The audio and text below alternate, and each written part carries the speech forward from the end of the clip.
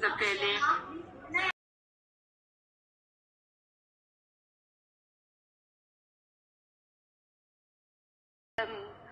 we are a great team. We, we uh, the group of, uh, of Slovenian teachers demonstrated that uh, even in difficult uh, times, it is possible to develop great moments of learning.